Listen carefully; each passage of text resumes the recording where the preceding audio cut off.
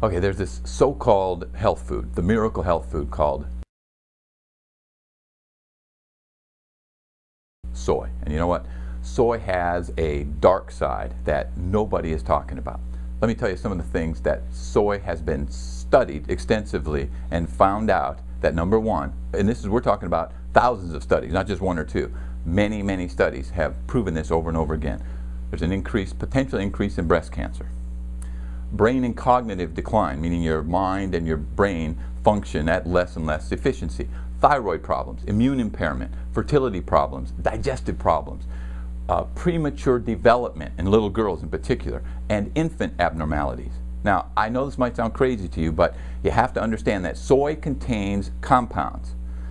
Number one, a compound called goitrogens. You may have never heard of that, but goitrogens means compounds that can cause a goiter. They mess with your thyroid gland they contain something called hemagglutinin. Hemagglutinin is a compound that, when it's in your bloodstream, it causes your blood cells to stick together.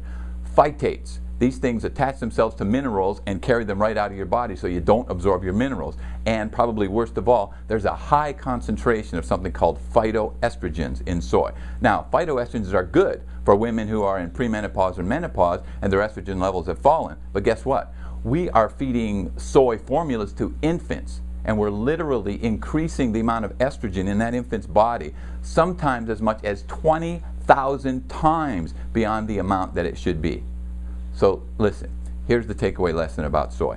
There's a lot of foods that have uh, been implicated to be health foods or wonder foods.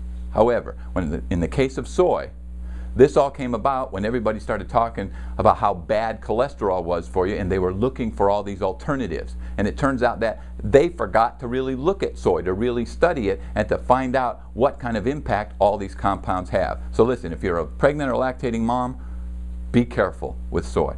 Number two, children. Don't give lots of soy products to children. All right. And number three, you just got to understand which soy are we talking about because there's fermented soy products which are good for you and the unfermented or non-fermented soy that's bad. The fermented products are things like miso, natto, tempeh, and soy sauce. The non-fermented soy are like textured soy protein, tofu, and textured vegetable protein that they use to make soy burgers, etc. So the point is this, stay away from the non-fermented soy because in many ways this stuff is literally ruining our health.